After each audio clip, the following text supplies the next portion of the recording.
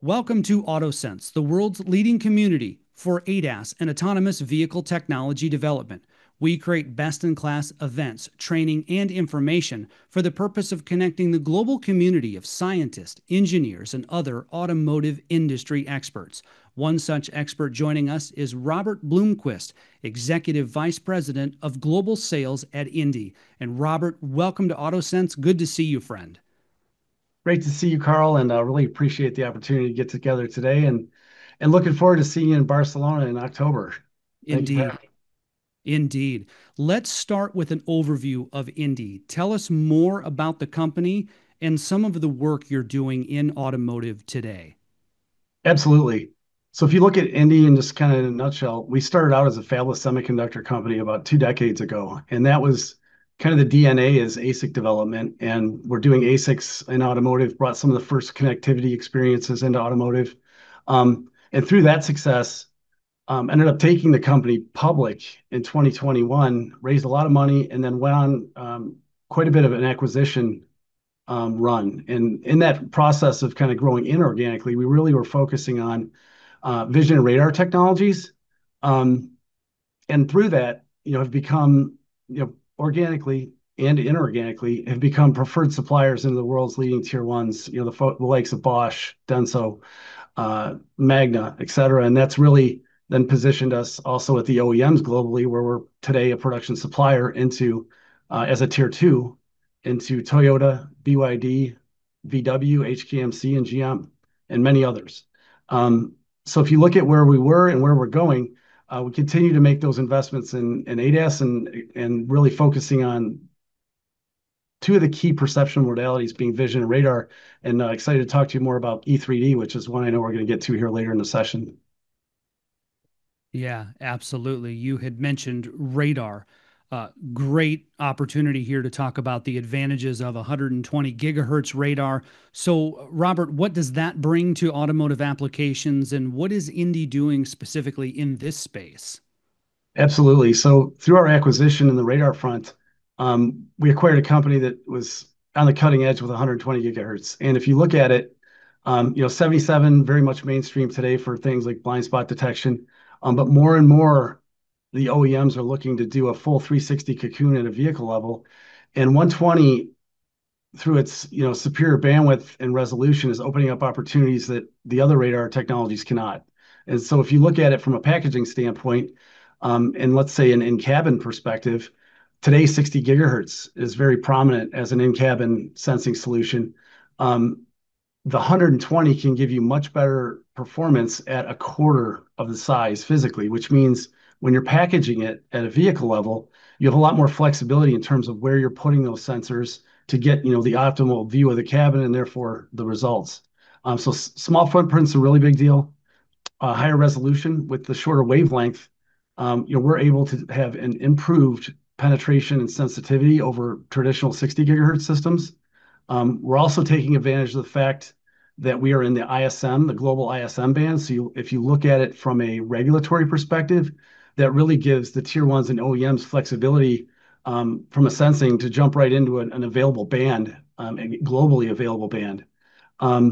And then if you look at it today, it's there's a lot less traffic out there, so reduced interference. There's not a lot of 120 GHz systems out there. There are a ton of 24, 77 Um, GHz systems, 60 gigahertz systems.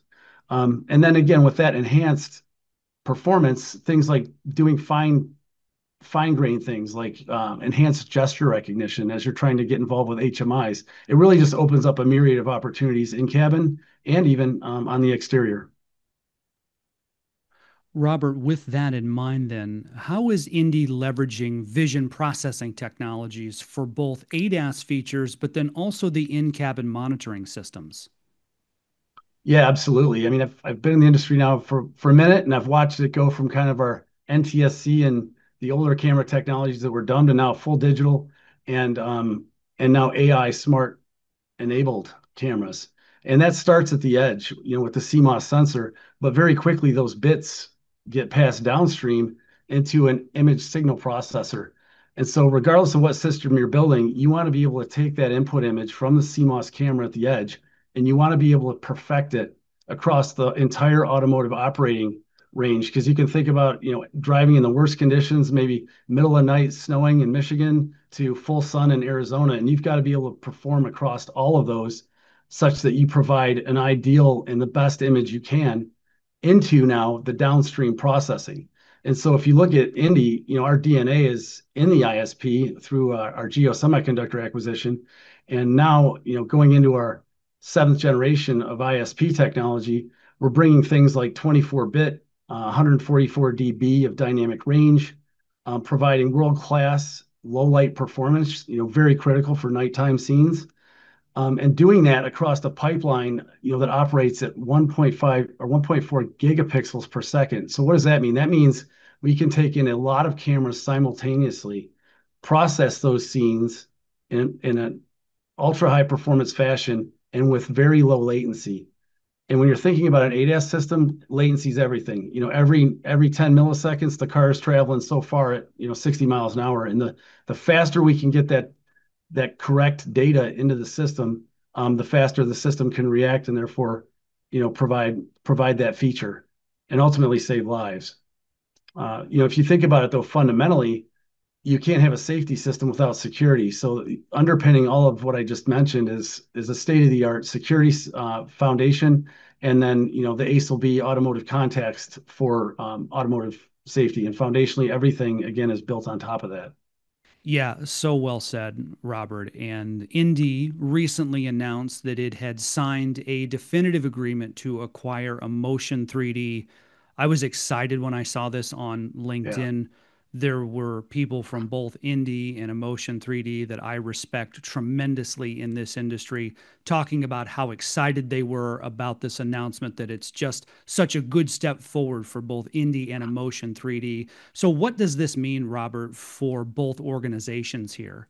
Yeah, absolutely. And I can't be more excited about this because, you know, it's bringing together a world-class perception uh, company in E3D that I know, you know, having been part of that acquisition process, uh, the extent to which they've been adopted and tested and just run through, um, you know, the production mill in the field um, is awesome. And, you know, I see the tier ones are associated with the types of, you know, KPIs they have to achieve at a system level. Um, and then the OEMs that that they're going to be going into, and they've really done a fantastic job, you know, in the IP in-cabin sensing space. And then, you know, if you look at it, if you look at the two coming together, you know, what does this mean?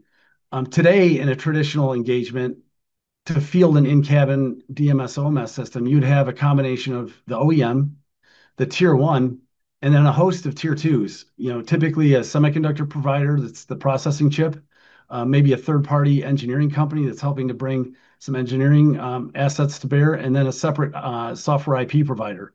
And as you can imagine, in a very complex uh, development environment where you're really doing some of the first things ever in automotive and in-cabin, um, you can quickly get into finger-pointing mode, right? You've got you're trying to bring together a host of uh, very talented people, but getting singing off the, you know, same song sheet, let's say. And so by coming uh, to Indie, you know, we can essentially provide not only the silicon, but we also have outstanding in-house um, image tuning capabilities. So you bring your sensor, we can help you set it up. You get you get your lens, we can tune that, um, do all the IQ tuning for you. And then you match that now with the E3D perception IP, and we essentially can become a one-stop shop for uh, folks developing in-cabin. Um, I will say, though, you know, if you look at it in terms of a business model, E3D's IP could very easily reside on some other processor in the system, maybe a more centrally located large ADAS domain controller. And we are going to continue, you know, to support other um, architectures that would have us, you know, doing just that pure software play uh, as well.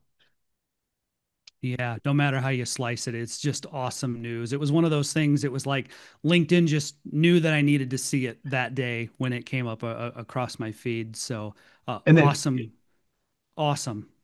And the really exciting thing is now that you see both sides of the equation, the hardware and the software, you know, looking forward from a roadmap perspective, you understand the problem set as good or better than anyone. And now you can start to tune both sides of that equation to really come up with the optimal system um, down the road. And that that is another um, aspect that we're really excited about. It's going to help steer our silicon strategy. It's going to help steer the algorithm strategy, and uh, ultimately lead to better products in the field. We're speaking with Robert Bloomquist, Executive Vice President of Global Sales at Indie. A pleasure to have you with us. Looking forward to seeing you in person uh, in Barcelona for AutoSens Europe 2025, October 7th through the 9th. Uh, until then, though, Robert, thank you for being with us virtually anyway. Absolutely, Carl. Appreciate the opportunity and uh, look forward to seeing you here in a few weeks in Barcelona. For more information on Indie and to find out more about our upcoming events, see the links in the description or visit autosens.com. That's autosens.com. For more in-depth interviews like this, subscribe to the AutoSens YouTube channel and follow AutoSens on LinkedIn. In Detroit, on behalf of AutoSens, I'm Carl Anthony.